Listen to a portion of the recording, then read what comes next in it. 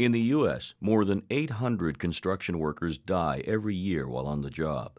One of the most dangerous types of construction work is trenching, which kills 40 construction workers every year.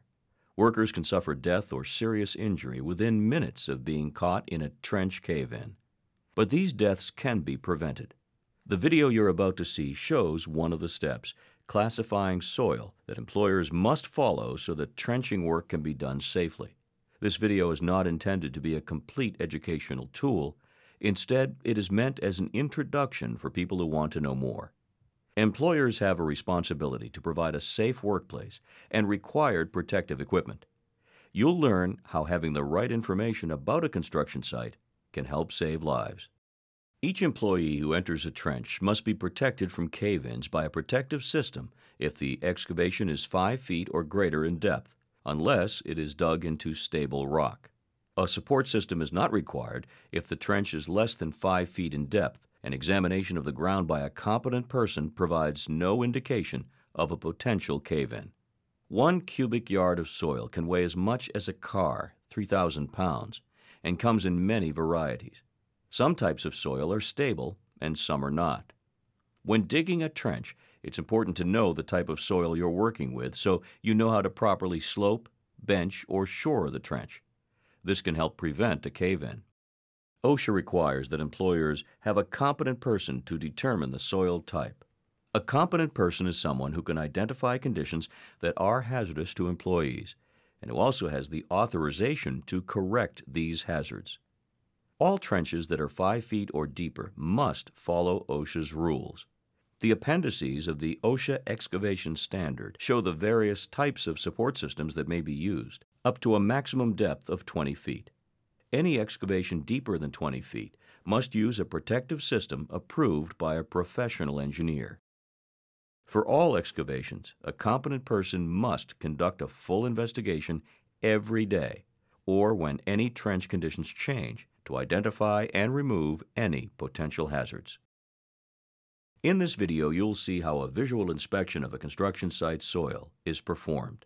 You will also see how to test the soil using three of the most common methods, the plasticity test, the thumb penetration test, and the pocket penetrometer test. For best results, OSHA recommends that the competent person use more than one of these methods to test the soil. Knowing the type of soil makes it possible to determine the right protective system to keep workers safe when they're working in an excavation. Soil can either be cohesive or granular. Cohesive soil contains fine particles and enough clay so that the soil will stick to itself. The more cohesive the soil, the more clay it has, and the less likely a cave-in will happen. Granular soils are made of coarse particles, such as sand or gravel. This type of soil will not stick to itself. The less cohesive the soil, the greater the measures needed to prevent a cave-in. OSHA uses a measurement called unconfined compressive strength to classify each type of soil. This is the amount of pressure that will cause the soil to collapse. This value is usually reported in units of tons per square foot. Soils can be classified as type A, type B, or type C. Type A soil is the most stable soil in which to excavate. Type C is the least stable soil. It's important to remember that a trench can be cut through more than one type of soil. Let's look at each type of soil. Type A soil is cohesive and has a high unconfined compressive strength, 1.5 tons per square foot or greater. Examples of type A soil include clay, silty clay, sandy clay, and clay loam. Soil cannot be classified as type A if it is fissured, if it has been previously disturbed, if it has water seeping through it, or if it is subject to vibration from sources such as heavy traffic or pile drivers. Type B soil is cohesive and has often been cracked or disturbed, with pieces that don't stick together as well as type A soil. Type B soil has medium, unconfined compressive strength between 0.5 and 1.5 tons per square foot. Examples of type B soil include angular gravel, silt, silt loam, and soils that are fissured or near sources of vibration, but could otherwise be type A. Type C soil is the least stable type of soil. Type C includes granular soils in which particles don't stick together and cohesive soils with a low unconfined compressive strength, 0.5 tons per square foot or less. Examples of type C soil include gravel and sand. Because it is not stable, soil with water seeping through it is also automatically classified as type C soil, regardless of its other characteristics. Before testing the soil, it's useful to perform a visual test of the construction site. This will help determine if there are factors on site that will lower the strength of the soil. Here are some observations to make when performing a preliminary visual test of the soil around an excavation site. First, as the soil is being excavated, does it come out in clumps or is it granular? Clumps mean that the soil is cohesive. Are there sources of vibration near the excavation?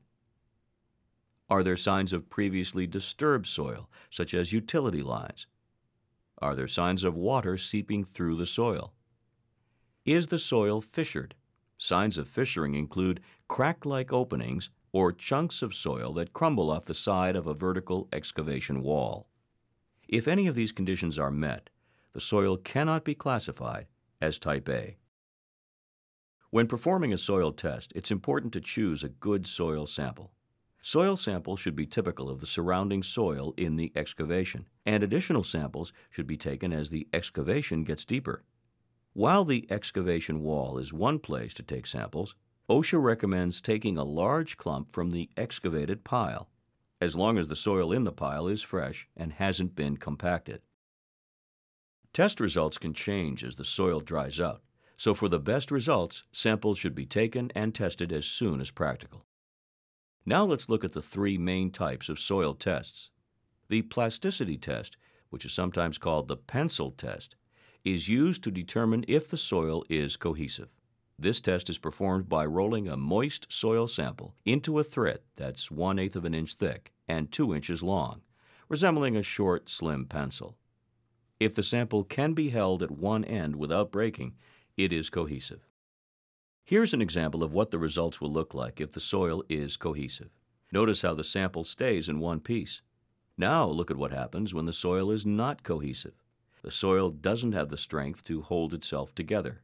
Any soil that is not cohesive is automatically classified as type C, although some type C soils are cohesive. The thumb penetration test is used to quickly estimate the compressive strength of a cohesive soil sample. To perform the thumb penetration test, simply press the end of your thumb into a fresh clump of soil. If the soil sample is type A, your thumb will only make an indentation in the soil with great effort, as you can see demonstrated here. If the soil sample is type B, your thumb will sink into the soil up to the end of your thumbnail, just like this. If the soil sample is type C, your thumb will sink all the way into the soil clump, as you can see here. Your results for this test will probably be somewhere in between these results. For a more numeric measurement, the pocket penetrometer test can be used. A soil's compressive strength can be given a numeric value by using the pocket penetrometer test. There can be some variability in these results, so it's a good idea to run this test on a few soil samples from the same part of the excavation, just to make sure your results are consistent. A pocket penetrometer works much like a tire pressure gauge. A thin metal piston is pushed into a soil sample, and the penetrometer records the compressive strength of the soil. Be sure that the scale indicator is inserted into the penetrometer body until only the zero mark is showing. To conduct the test, push the piston into the soil until it reaches the engraved line. Then simply take the reading from the scale indicator. It's important to recognize that a penetrometer may give false results if the soil contains rocks or pebbles, which won't compress. As you can see, type A soil will measure at least 1.5 tons per square foot. Be aware, however, that you can't classify a soil as type A if the excavation site didn't meet all the conditions of the visual test, if it is granular, near a source of vibration, or there are signs of previously disturbed soil, water seepage, or fissured soil.